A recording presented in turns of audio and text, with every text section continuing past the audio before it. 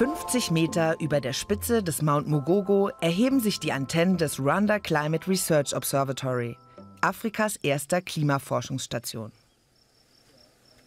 Ruanda ist extrem anfällig für den Klimawandel. Schon jetzt ist die Temperatur hier in den letzten 50 Jahren um 1,4 Grad gestiegen. Dürreperioden und Starkregen nehmen zu. Für die Bauern an den Hängen des Mount Mugogo eine Katastrophe. Das Wetter spielt verrückt. In Ruanda hatten wir früher immer zur gleichen Zeit Regenzeit. März, April und Mai. Heute regnet es sogar im September. Wir wissen nie, was wir vom Klima zu erwarten haben. Ruanda braucht verlässliche Daten, um sich an den Klimawandel anpassen zu können.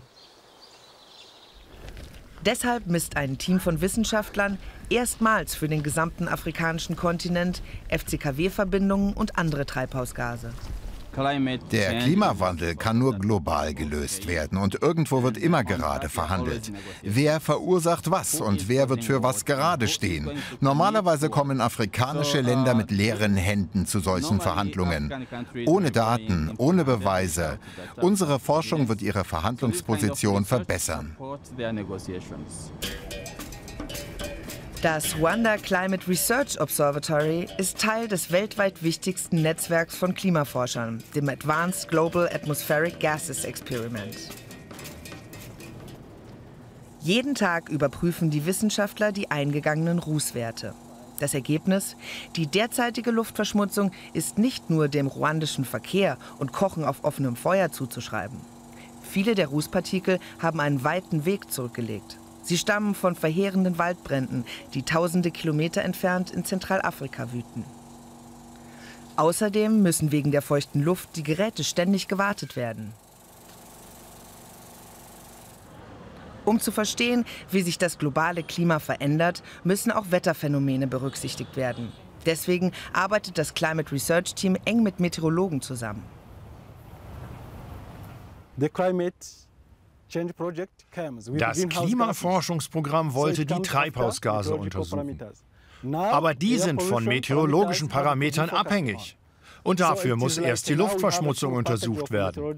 Jetzt haben wir ein vollständiges Paket meteorologischer Bedingungen. Erst wenn wir Dinge wie die Regenzeit, die Luftverschmutzung und die Klimawandeldaten zusammenfügen, bekommen wir ein vollständiges Bild.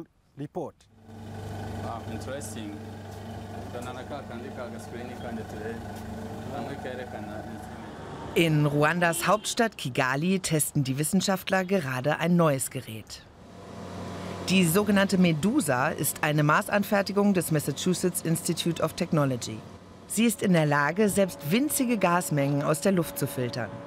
Ozonabbauende Substanzen wie FCKW sind nämlich nicht nur sehr klein, ihre Menge ist auch im Gegensatz zu Sauerstoff und Stickstoff verschwindend gering. Die Medusa entfernt die größeren Bestandteile aus der Luft und macht FCKW und andere Treibhausgase messbar.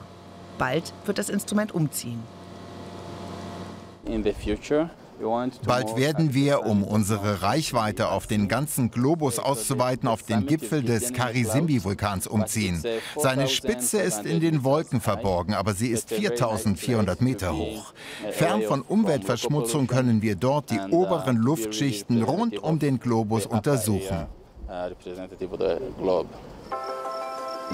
Dort wird die Medusa dann über 50 verschiedene Treibhausgase aus der Luft filtern.